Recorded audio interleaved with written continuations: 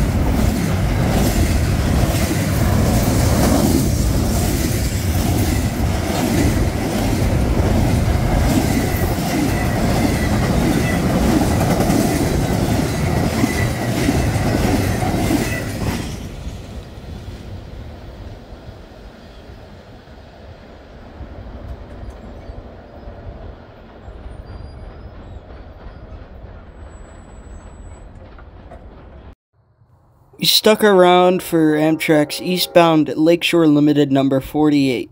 With two General Electric P42 DCs in the lead, the train is racing out of Erie, Pennsylvania with the next stop of Buffalo, New York.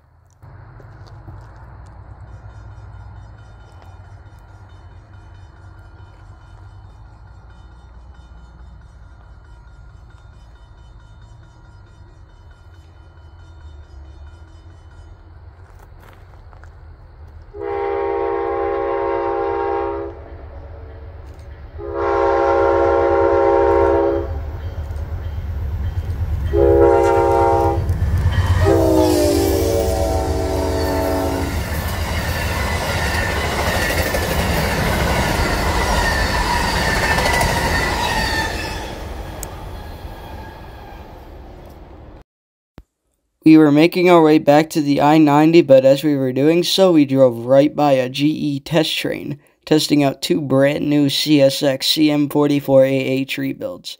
So we went to the next available railroad crossing and caught it there. These are rebuilds CSX has been doing with their 1990s GE AC4400 CW locomotives. Notice the leader in primer paint.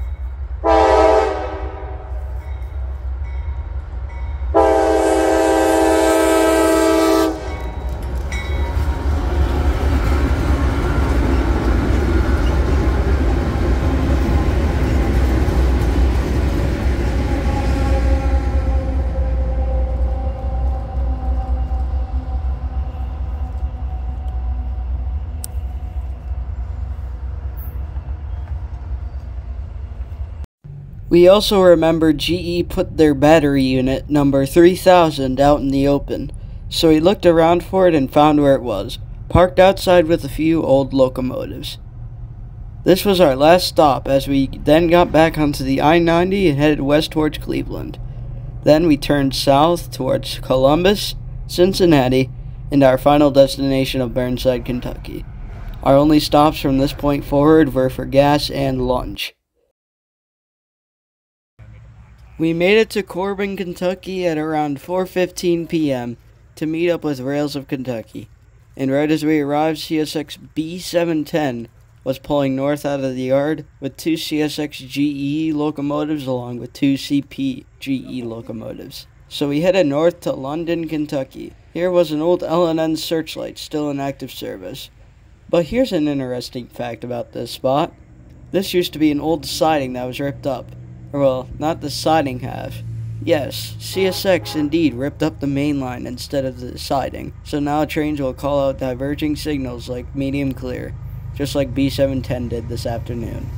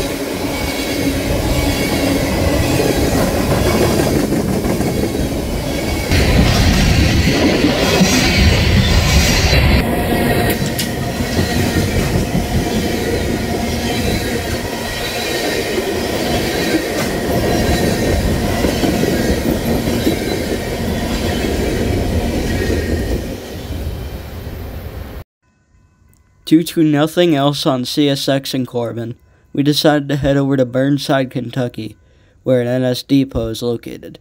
They shut off power to this depot about two years ago, and it is still a mystery as to why they did that.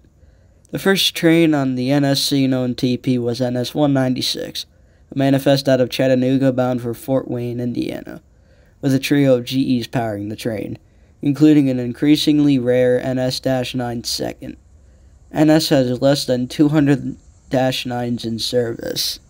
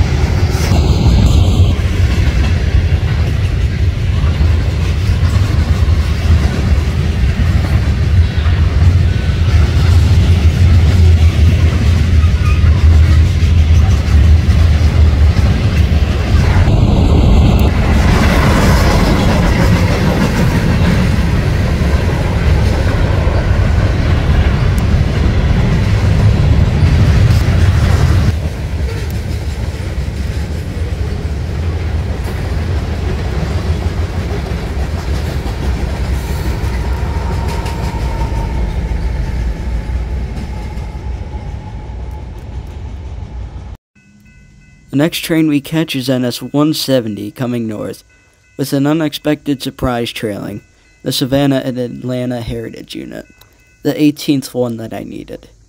Reports said that it was going south, but I guess the person got the direction wrong, and it was going north instead. So, I'm just happy with the unexpected surprise.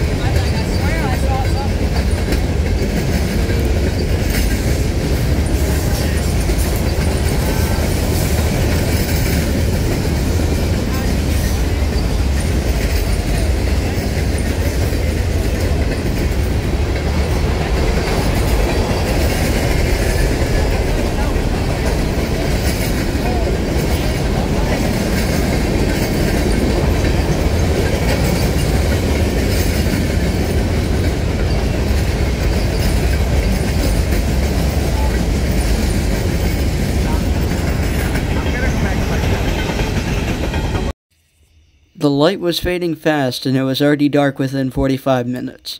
The next train we caught was NS 142 heading north, with an NS ET 44 leading an NS C6M. They stopped here for a crew change at Burnside because they weren't going to make it to Danville.